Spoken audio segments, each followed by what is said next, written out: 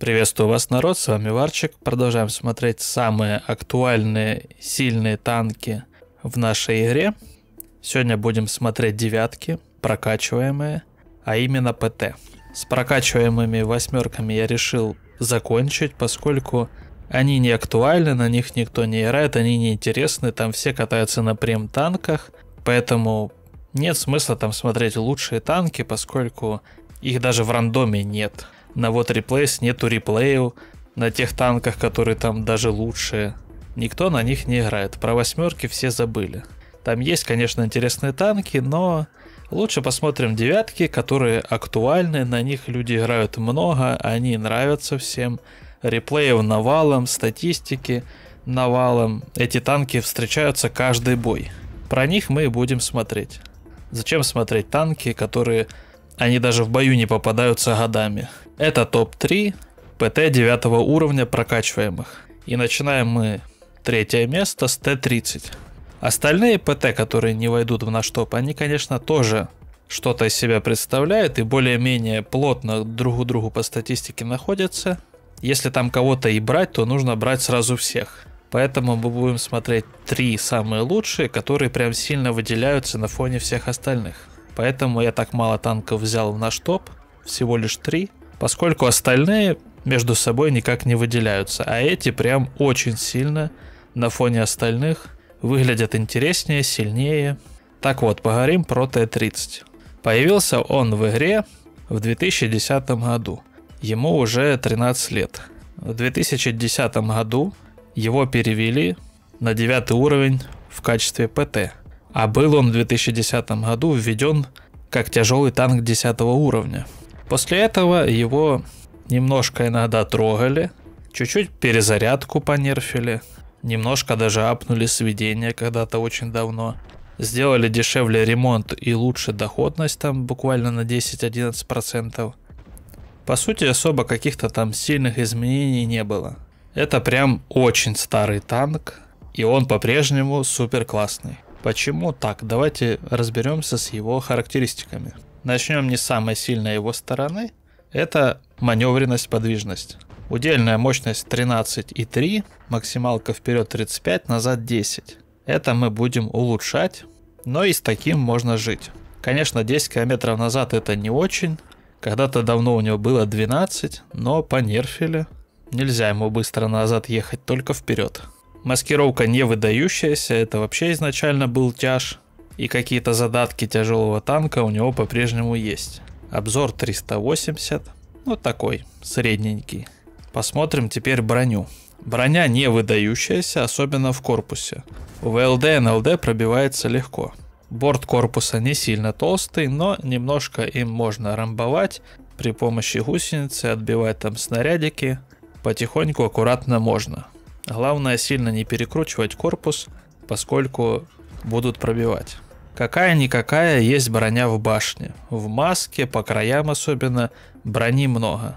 Но в центр маски иногда могут пробивать особо мощными снарядами. Также специальными снарядами могут пробивать и щеки вокруг маски.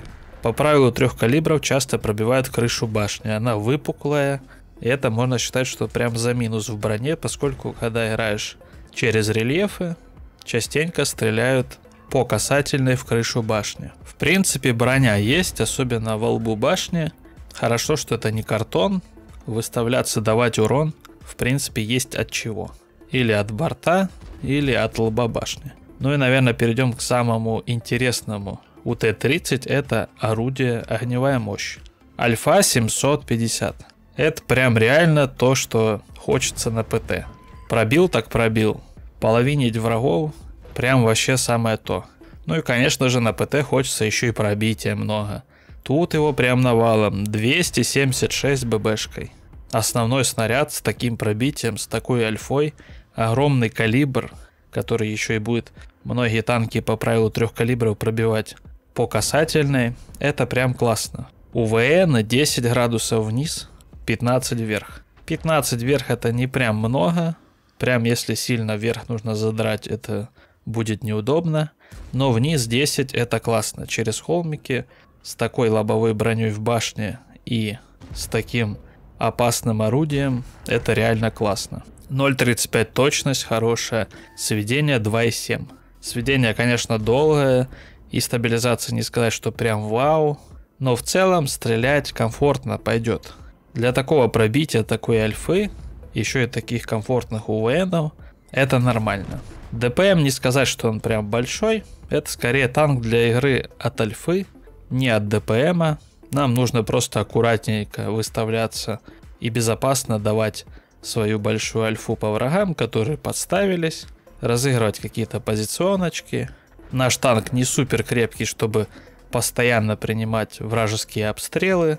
Наш танк не ДПМный, не нужно заезжать прям очень глубоко. Никого мы на скорострельности раз на раз не разберем. Нам нужно просто аккуратненько выдавать периодически свою альфу, играя от позиционочек, от рельефов. Нужно спокойно следить за боем и в каждой игровой ситуации пытаться выдать свою альфу безопасно. Танчик очень клевый, классный. Я на нем три отметки взял. Это было невероятно интересно. Мне еще очень понравилось то, что я очень часто поджигал врагов.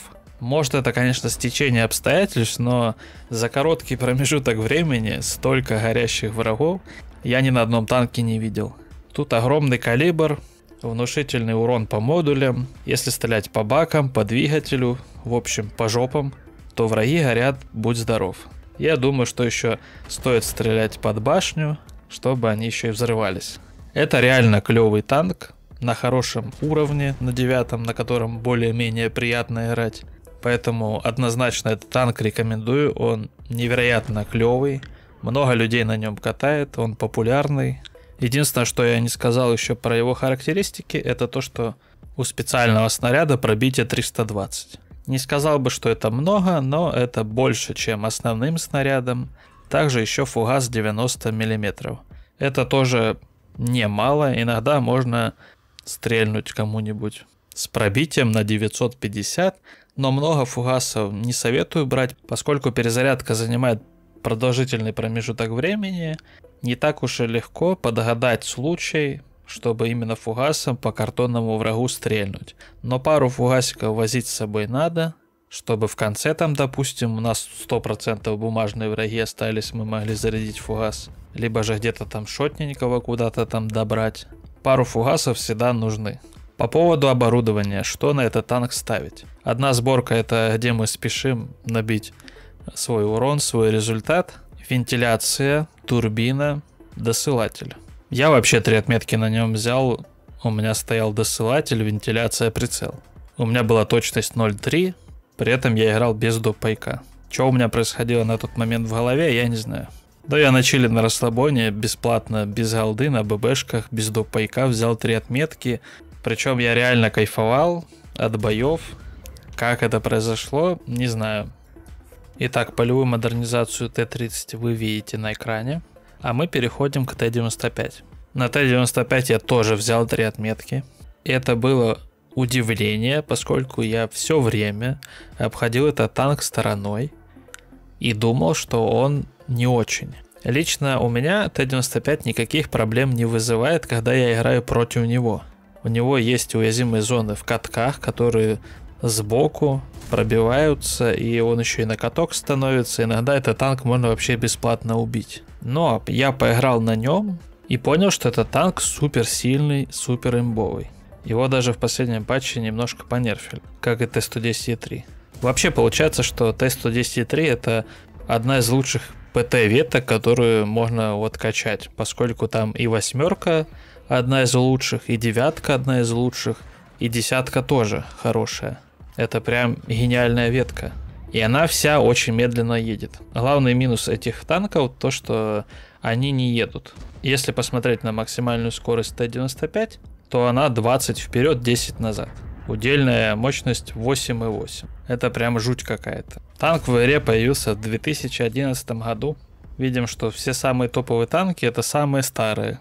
Вот и думайте теперь, устаревают танки или нет. За все время у Т-95 немного было изменений. Ему добавили 100 хп, улучшили скорость поворота, максимальную скорость апнули с 13 км до 20. Вы представляете, это чудо когда-то ехало 13 километров. Все в том же в 2017 году. Более углубленно, когда смотришь на изменения в игре, понимаешь, что в 2017 году многим танкам очень хорошо так танкинули параметров, поскольку это очередной танк, который апнули в 2017. Ему апнули максимальную скорость вперед с 13 до 20, а назад с 6 до 10. Также улучшили еще и мощность двигателя, что одного, что второго. Давайте посмотрим броню этого танка. Она действительно внушительная. Волбо это танк реально крепкий. Но есть два лючка, которые в середине пробиваются не так уж сложно. Также присутствует небольшое НЛД. Еще есть такой вот кусочек лючка, который выглядывает из-за другого лючка, у которого вообще брони почти нет. Он реально пробивается там даже, не знаю, какими-то семерками, ББшками. Но туда надо попасть. С левой стороны на рубке сбоку за первым лючком таким, за выемкой, находится вторая выемка, которая пробивается супер легко. И это еще не все беды в броне у этого танка. У него еще и в катках есть проблемы, поскольку Сбоку, в ближний каток, под углом, этот танк пробивается очень легко, ставится на гусеницу и спокойно убивается, если у вас ДПМ приличный. Но в принципе это все уязвимые зоны. Какие же плюсы у этого танка? Ну, наверное, единственное, помимо лобовой брони, это, конечно же, орудие. Такое же, как на Т-30. 276 пробития ББшкой, 750 альфа. Единственное, что орудие здесь опускается всего лишь на 5 градусов, но танк низкий, ну хотелось бы, конечно, и чуть побольше. Точность 0.36, сведение 2,59. Чуть быстрее, чем у Т-30, но точность та же самая. Также ДПМ здесь 2470, а у Т-30 2200. Но там есть башня, УВН, и там свои удобства. Здесь вот свои. Какой стиль игры на Т-95? Мы сразу должны ехать туда, где мы хоть что-то сможем поделать, поучаствовать в бою. Стоять где-то что-то там кимперить, мы не успеем поучаствовать, повлиять, сделать свой вклад в бой. Конечно, ехать самому куда-то на фланг смысла нет, нас там закрутят, завертят и забуцают толпой, поэтому мы должны как бы и участвовать, но при этом не отделяться от стада. Это такой вот стадный игрок. Самое лучше всего ехать с тяжами куда-то в город бодаться, если тяжей много, это прям вообще то, что нам надо. Что касаемо оборудования, я три отметки на этом танке взял со следующим оборудованием. Досылатель, турбина, прицел. Можно, конечно же, вместо прицела поставить закалку. Ну и, в принципе, выбора особо больше, наверное, и нет. Я вообще был удивлен, насколько я легко на нем взял три отметки. По статистике на моем аккаунте это один из самых сильных танков получился. Причем на нем очень легко игралось лично для меня, я не знаю. Но по статистике это ПТ на девятом уровне у нас в рейтинге на втором месте. Видимо, не только для меня этот танк очень классный. Поэтому я обязательно рекомендую его. Если не пробовали, попробуйте. Это невероятный танк. Как и вся ветка, в которой находится Т-95. Полевую модернизацию можете видеть на экране. Вот мы и подошли к первому месту, самое сильное ПТ 9 уровня. По статистике, по популярности, хотя все эти танки, которые мы в этом видео рассмотрели, популярны, на них очень много кто играет, они нравятся многим. Конечно же, это Тартойс, британская ПТ 9 уровня. И это, наверное, самый свежий танк в нашем топе, поскольку в игре он появился в 2013 году. Получается у нас на третьем месте в нашем топе танк 2010 года, на втором месте танк 2011 года, ну и на первом месте прям такой свежачок-бодрячок 2013 года Тартойс. Именно в 2013 году он появился в игре. Прям, так сказать, старички в топе. Заметные изменения у Тартойза произошли в основном в 2017 году. В патче 0921 Ему апнули пробитие на многих его орудиях. Немножко там понерфили на одном из них перезарядку. Улучшили альфу. Усилили броню корпуса. Видим, что очередную ПТ в 2017 году апнули, и она сейчас на первом месте среди девяток. Давайте посмотрим броню этого танка. Она внушительная. Это прям передвижная крепость. Брони навалом везде. Если сильно перекрутить корпус, конечно, можно пробить ему передний каток. Часто еще пробивают в центр лючка, он большой, но если не попасть в центр, вряд ли пробьешь. Также специальными снарядами часто пробивают рубку с другой стороны, справа, и не там, где лючок, а там, где пулеметик. Но если стрелять чуть ниже этого пулеметика, то, как ни странно, там брони чуть меньше. Хотя многие стреляют по привычке в пулеметик. Я не исключение. А так, по сути, броня у этого танка великолепная. Если не встречать десяток, которые специальными снарядами стреляют с пробитием 300+. В такой ситуации броня становится не такой великолепной. И даже начинают пробивать НЛД, но нужно стрелять не в самую нижнюю часть НЛД, поскольку там очень большой угол и приведенка невероятная, нужно стрелять в центр НЛД.